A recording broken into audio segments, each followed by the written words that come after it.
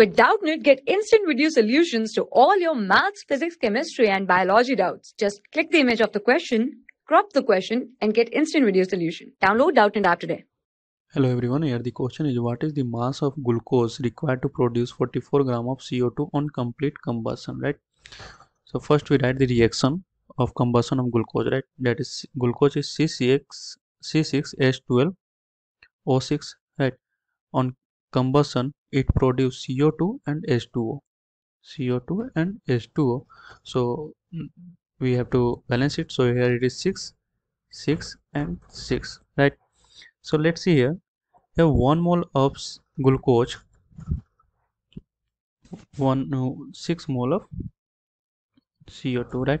Here we see that 1 mole of glucose produce 6 mole of CO2 that means we know that uh, molar mass of glucose is 180 gram right molar mass of glucose is 180 gram and here we calculate the mol, uh, mass of co2 produced that is molar mass of co2 is 44 so if we calculate it gives us 254 right?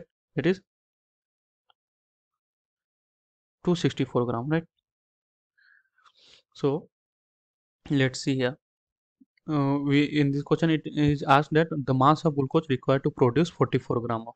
So here 264 gram of co2 is obtained by 180 gram of glucose 180 gram of glucose right? Glucose. So we have to calculate in 44 gram. So 44 gram of co2 is obtained in 1 by 80 upon 264 into 44 of glucose. So it comes to right after solving this we, we get 30 gram 30 gram of glucose so here we require 30 gram of glucose, right? What is the mass of glucose required? That means 30 gram of glucose required to produce 44 gram of CO2. So our correct option is option A.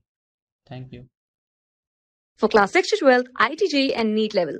Trusted by more than 5 crore students. Download Doubtnut app today.